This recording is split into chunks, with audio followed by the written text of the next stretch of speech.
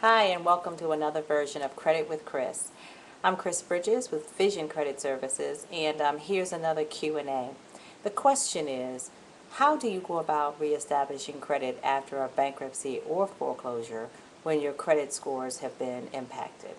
Well, first of all, let's focus on the fact that credit can be restored and don't dwell on the fact of where your credit score is today. Certainly, a foreclosure or a bankruptcy is going to have a significant impact on your credit score.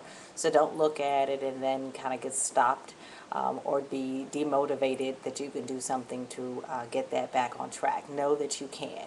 One of the nice things about credit is that it can be restored. So let's start there. Uh, second would be to go ahead and start establishing a positive trade line. And that may sound crazy, um, but it's critical. Um, you need to really start to isolate the negative, whether the foreclosure or the bankruptcy, sort of put that in a bucket by itself and start working all around it.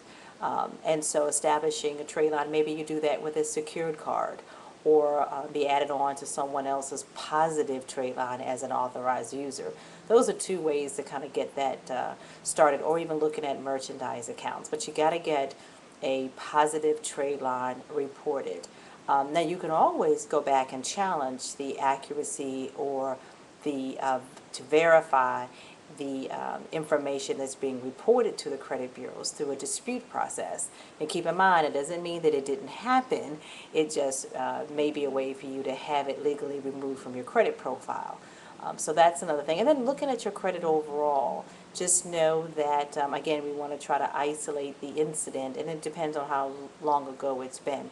Keep in mind, though, with a bankruptcy, the main thing is not to get back into credit problems after a bankruptcy uh, because it's a really good opportunity to actually restore your credit pretty quickly with a positive trade line being reported.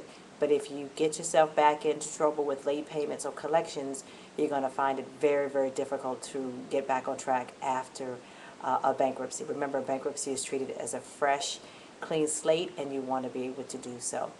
Anyway, submit your questions. Sorry, that one was a little a bit lengthy, but su submit your questions to us at our blog at Credit with Chris, um, and let me know if you have anything else, if you have any other questions, or if you are any comments that you want to make. All right, thanks a lot. Have a great day.